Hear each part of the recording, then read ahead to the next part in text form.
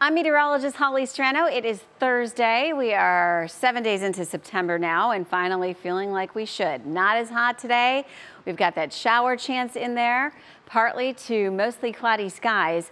Better chances for showers as we get into this evening, which is why you see them popping up there on our timeline. And uh, earlier today, it was pretty much few and far between.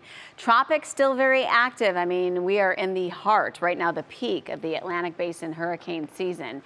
And uh, as of this morning, we have Hurricane Lee as a category one. Of course, uh, updates to be expected throughout the day, depending on when you're tuning in. But the reality of this is it's expected to strengthen to a major category four hurricane by early next week as it continues to make its approach. So we'll be keeping a very close eye on this. Several days to watch, to track, and there could be a lot of changes is the reality on our maps here back at home. We do see these on and off rain chances throughout the day.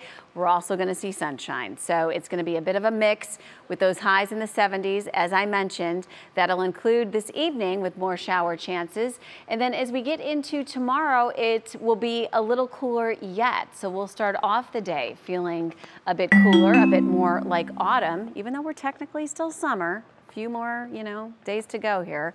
And 74 the high. Great weather for high school football. A little rain shower is not going to hurt a thing.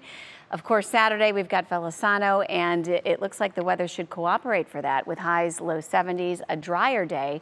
Sunday we've got our Browns home opener, and we're planning on highs in the low 70s with scattered showers.